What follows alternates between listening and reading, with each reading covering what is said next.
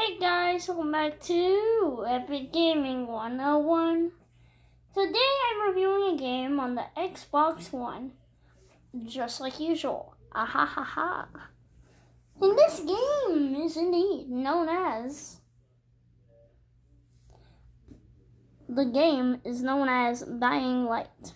You may have heard of it, although not that many people know of it. And they really should, because it's amazing. It's basically a uh, zombies are here, and and uh, you put on a suit, and then you got knocked unconscious, and then they like rip you out of the suit, and then you go into a place called the Tower, and it's a zombie survival and parkour game. And I don't know how, but if you jump off of the tallest building in the game if you land on top of a car, on top of a zombie, or in a pile of trash, then you don't die. Like, because this makes sense. I'm just gonna jump off of the roof of my house and land in a pile of trash filled with metal. Or jump on a metal car. Or jump on a person. Do not actually do that. That is dangerous, boy. But this game is amazing. So there are perks in this game.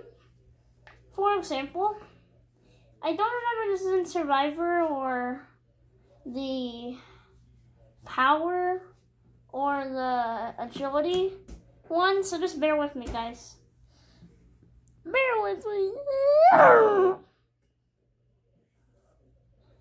Basically, you can drop kick enemies in one of them.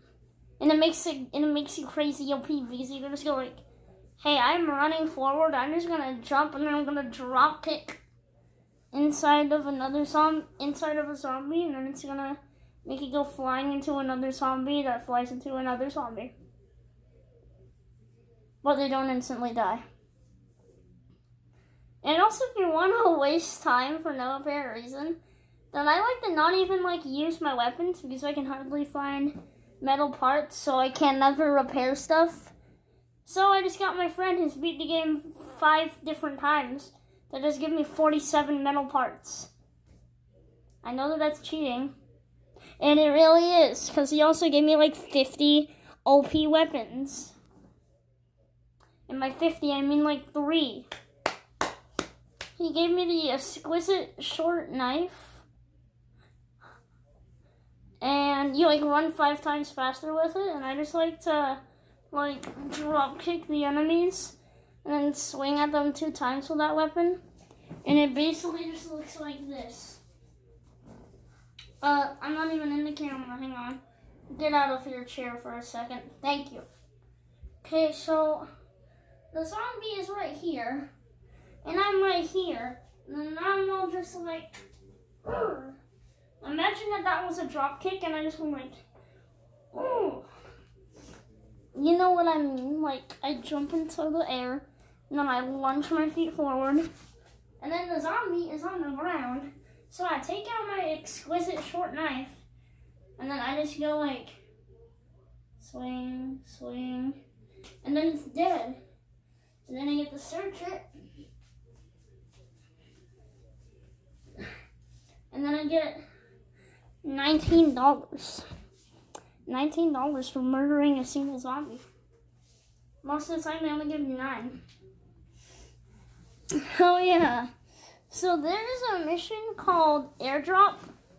Uh, my friend said that the mission is terrifying if you're playing by yourself because, uh, I'm not gonna say why. But if you want to know, then listen to what I'm about to say.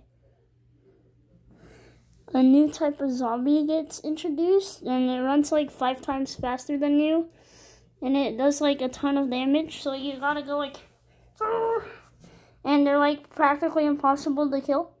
So you just gotta like run as fast as you can. It's like, and also earlier in that mission, whenever you make it to the first airdrop, fight the guys that are there. Because whenever you kill them, you can still open up the crate, and then you can take all of the stuff. Like you can take DIY hand grenades, ammo, stuff like that.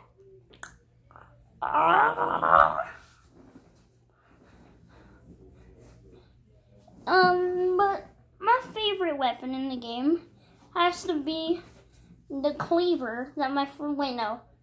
So there's a type of common machete. I don't know how you unlock the blueprint for it. Well, when my friend gave it to me, it legit has infinite durability. You could like constantly slap a zombie, and then it'll show its durability going down, and they're like ready. But then whenever it runs out, nothing happens. It's still the exact same. Deals the exact same amount of damage, which is like 5,000, and the zombies at the beginning only, only have like 100 health.